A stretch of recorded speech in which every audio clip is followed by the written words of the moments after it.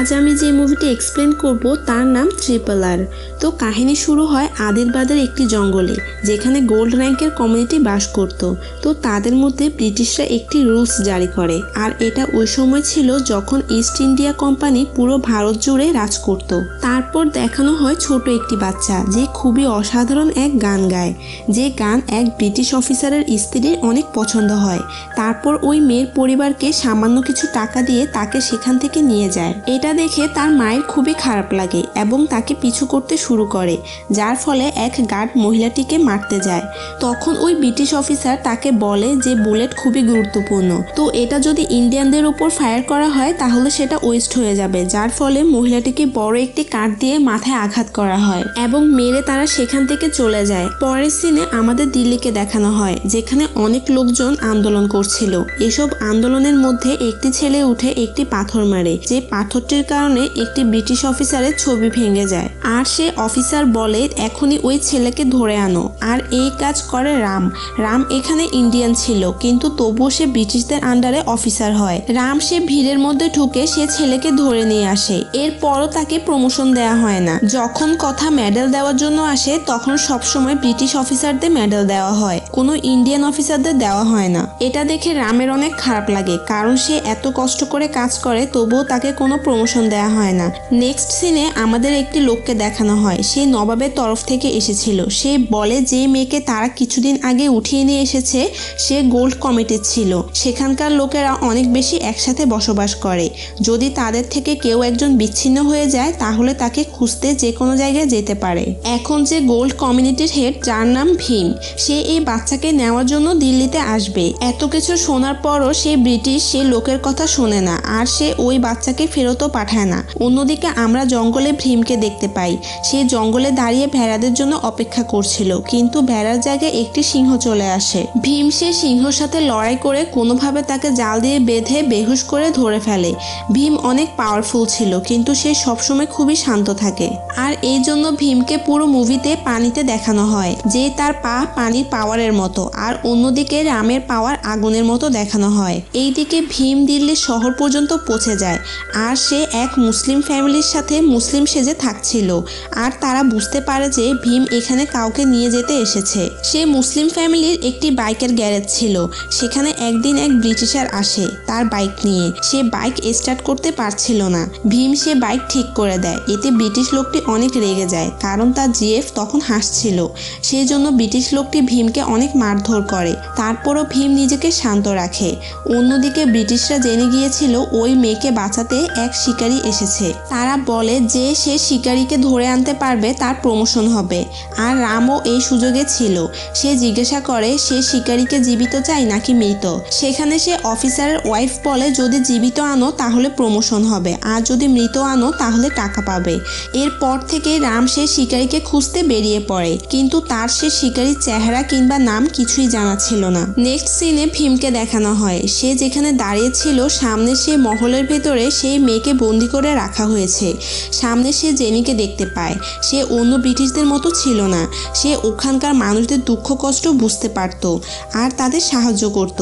ভীম বুঝতে পারে যদি সে ভেতরে ঢুকতে চায়, তাহলে জেনি তাকে ভেতরে ঢুকতে সাহায্য করতে পারে। অন্যদিকে রামকে দেখানো হয়। সে একটি ভাষণ শুনতে এসেছে, কারণ সে জানে যদি সে এসব ভিড়ের মধ্যে থাকে, তাহলে সে শিকারী সম্পর্কে জানতে পারবে।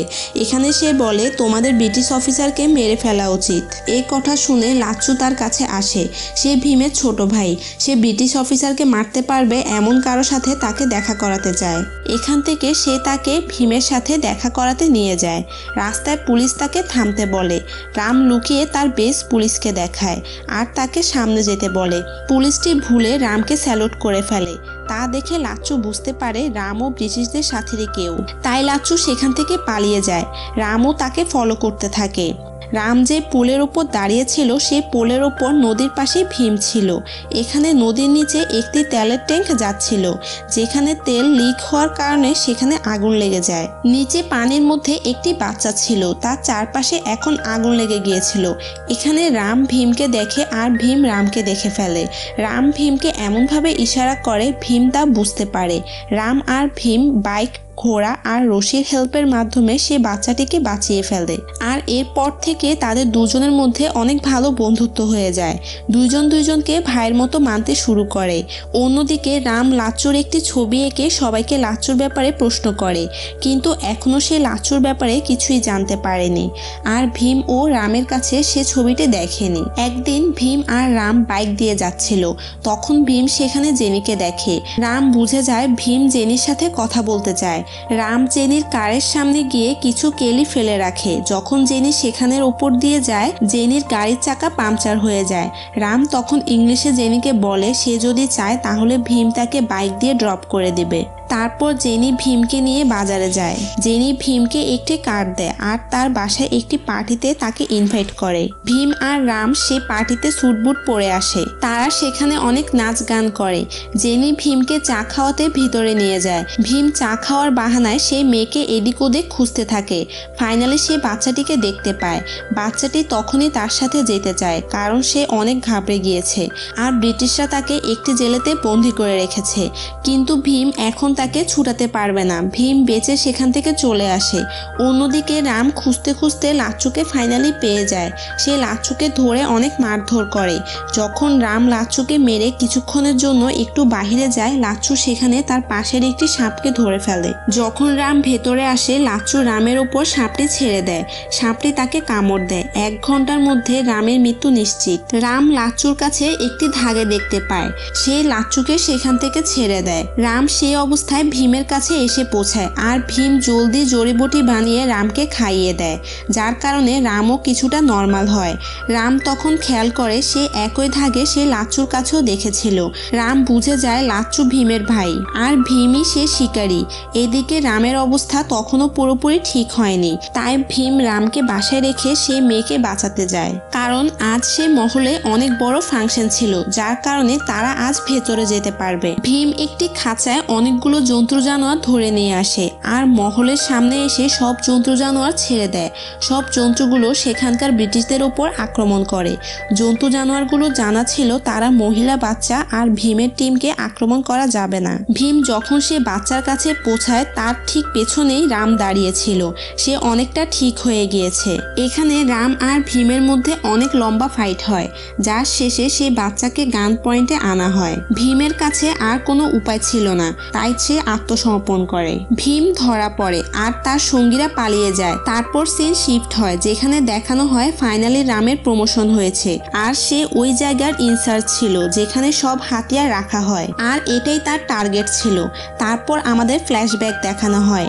রামের বাবাও আগে ব্রিটিশদের আন্ডারে কাজ করত, আর সেও একজন সিপাহী ছিল।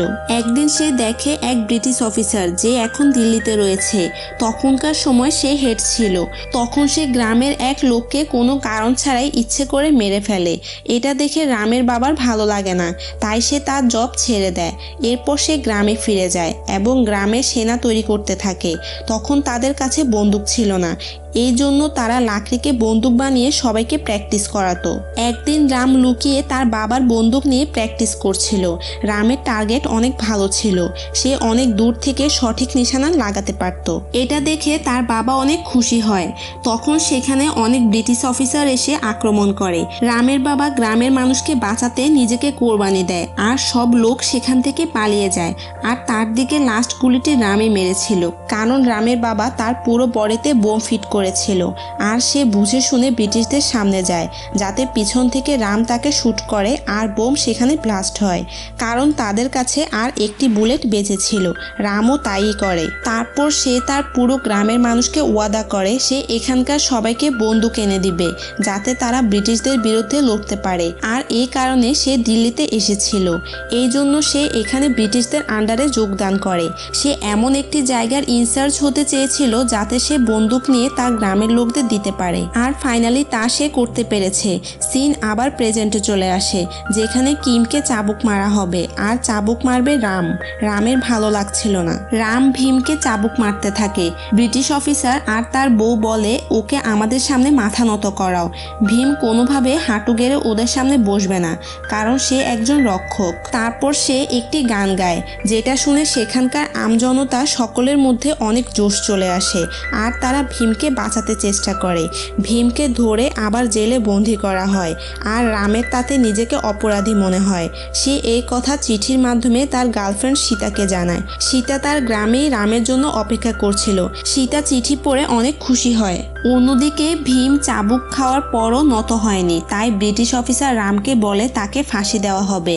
আর এদিকে রাম ভীমকে বাঁচাতে চায়। রাম ব্রিটিশ অফিসারকে বলে ভীমকে নদীর পাশে ফাঁসি দেওয়া উচিত।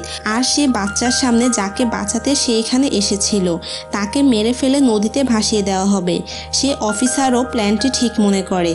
আর রাত হলে রাম সব বন্দুকের বুলেট বের করে ফেলে। যাতে সব অফিসারের কাছে বন্দুক থাকবে, কিন্তু তাতে কোনো বুলেট থাকবে না। পরের দিন সকালে রাম যখন সে বাচ্চাকে নিয়ে নদীর পাড়ে যাচ্ছিল, তাদের পেছনের কারে সে অফিসারও আসছিল, যে কিনা রামকে সন্দেহ করছিল। রাম ইচ্ছে করে একটি গাছ কেটে ফেলে রাখে। রাম যখন এগিয়ে যায়, সে গাছটি অফিসারের গাড়ির ওপর গিয়ে পড়ে, কিন্তু সে অফিসার এখনও বেঁচে ছিল। অফিসারটি রামের গাড়িতে গুলি করে। গুলিটি রামের গাড়ির চাকার সাথে গিয়ে লাগে আর তার গাড়ি উল্টে যায়। রাম একটি গাছের সাথে ধাক্কা খায়। সেই গাছের একটি ঢাল রামের পিঠে ঢুকে যায়। রাম সে বাচ্চাকে পালিয়ে যেতে সাহায্য করে আর অন্যদিকে সে তার এক বন্ধুর সাহায্যে ভীমের কাছে একটি ব্লেড পৌঁছে দেয়। ভীম সে রশি ছিঁড়ে সেও সে বাচ্চাটিকে নিয়ে পালিয়ে যায়। কিন্তু রাম ইংরেজদের হাতে ধরা পড়ে। তারপর কয়েক মাস পর রামকে দেখানো হয়। যেখানে ভীমকে আটকে রাখা হয়েছিল, সেখানে রামকেও আটকে রাখা হয়েছে। রাম সেখানে প্রতিদিন প্র্যাকটিস করত তার বডি ফিট রাখার জন্যে। ইংরেজরা তখনও ভীমকে খুঁজে চলেছে। অন্যদিকে ভীম বাচ্চাটিকে নিয়ে একটি জায়গায় আশ্রয় নেয়। সেখানে পুলিশ তাদের খুঁজতে আসে। সেখানে আবার সীতাকে দেখানো হয়। সীতা ও জঙ্গল থেকে দিল্লির দিকে আসছিল। পুলিশ যখন সেখানে আসে, তখন সীতা গিয়ে তাদেরকে বলে, আমাদের বাঁচান। এখানে কিছু বসন্ত রোগী রয়েছে। এই কথা শুনে পুলিশরা সেখান থেকে ভয়ে চলে যায়। ভীম সীতাকে ধন্যবাদ জানায়। অন্যদিকে সীতা রামের সাথে দেখা করতে যাচ্ছিল। সীতা রামের সব প্ল্যান সম্পর্কে ভীমকে বলে। ভীম সব কথা শোনার পর তার খুবই খারাপ লাগে এবং সে আবারও দিল্লিতে গিয়ে জেনির সাথে দেখা করে। জেনি তাকে সেই মহলের একটি ম্যাপ দিয়ে দেয়। সেই ম্যাপের সাহায্যে ফাইনালে সে রামকে ছাড়িয়ে নেয়। রাম আর ভীম সেখানে অনেক ফাইট করে। তারপর তারা জঙ্গলের দিকে পালিয়ে যায়। ব্রিটিশ সেনারা তাদের পিছু করে। ভীম আঘাত পেয়ে হাঁটতে পারছিল না। সেই জঙ্গলে একটি রামের মন্দির ছিল। যেহেতু তাদের কাছে কোনো অস্ত্র ছিল না, তাই মন্দির থেকে রাম ধনুক আর তীরটি নিয়ে নেয় এবং সে ইংরেজদের সাথে লড়াই করছিল। সে লাগাতার সবাইকে মেরে ফেলছিল। এখন তাদের টার্গেট ছিল ব্রিটিশ অফিসার তারা মহলে গিয়ে তাকে ধরে ফেলে। রাম ভীমের হাতে গুলি তুলে দিয়ে বলে তাকে শুট করতে। ভীম সে অফিসারকে গুলি করে আর সে সেখানেই মারা যায়। আর তারা সে অস্ত্রের ভাণ্ডারও পেয়ে যায়। আর গ্রামের লোকদের হাতে তা তুলে দেয়।